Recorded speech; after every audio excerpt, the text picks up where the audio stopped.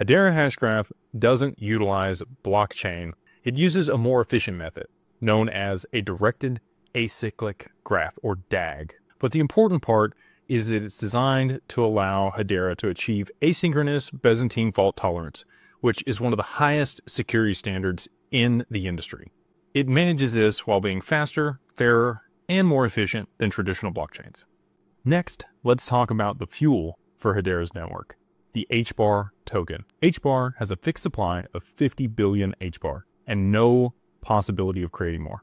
This scarcity ensures stability and transparency, making HBAR a reliable asset for long-term use.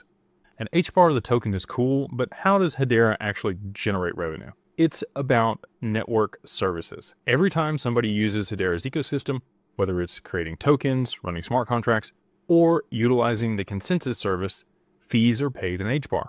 These fees are small, but they add up quickly, and given the high throughput of the network, this economic model makes Hedera not only efficient, but also sustainable. Its versatility actually powers applications in various industries. For instance, it enables fast, low-cost transactions in supply chain management, tracking goods, and confirming authenticity. Its governing council includes powerhouses like Google, IBM, Boeing, and Deutsche Telekom. These companies leverage Hedera for products like identity management, supply chain tracking, and much more.